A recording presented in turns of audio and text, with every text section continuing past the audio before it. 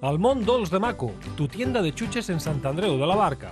Chucherías para todas las edades, sin olvidarnos de aquellos que necesitan un trato especial. Golosinas sin azúcar y sin gluten. En el Dols de Maco, pensamos en ti. Y si preparas una fiesta de cumpleaños, comunión, un bautizo o una boda, tenemos lo que necesitas. Estamos en la Avenida Constitución número 49, local 1, al Mont Dols de Maco, tu tienda de chuches.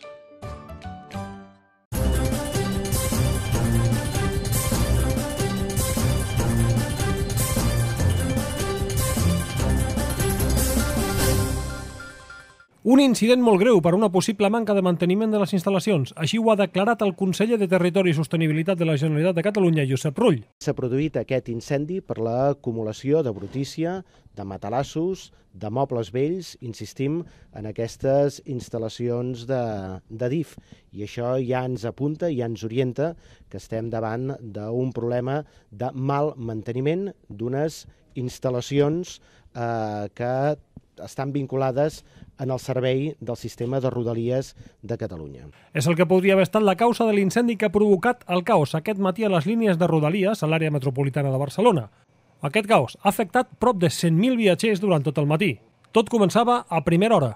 A les 5 del matí nosaltres hem obert i hem tancat a, a dos quarts de sis.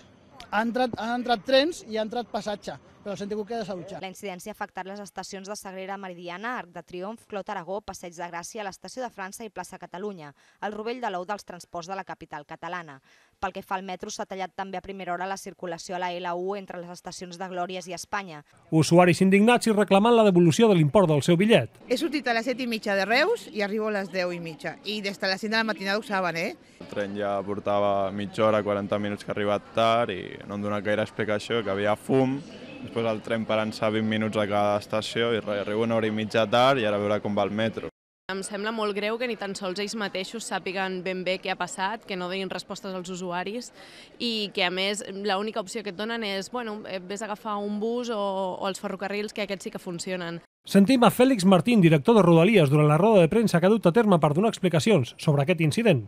L'estació forma part de la xarxa de túnels de Barcelona. La infraestructura eh, forma part del, del concepte de la DIF. Eh, Renfe fa l'operació de, fa, va fer l'operació de trens. També hem obert el, el capítol dels torns. Avui no és un dia, avui no és un dia en els que nosaltres estem plantejant res eh, res de control ni res relacionat amb, eh, diguéssim, controls i, i billetatge. Vull disculpar-me en aquest sentit perquè cada dia, i li puc assegurar que tot l'equip de, de Renfe i Adif treballa perquè les situacions de servei siguin correctes, fiables i estiguin a l'altura de les expectatives que necessiten els clients que, que agafen i que confien cada vegada i cada dia amb els trens de Renfe. Rodalies Renfe preveu durant la tarda restablir els horaris habituals de les línies, que ja han estat obertes a la circulació.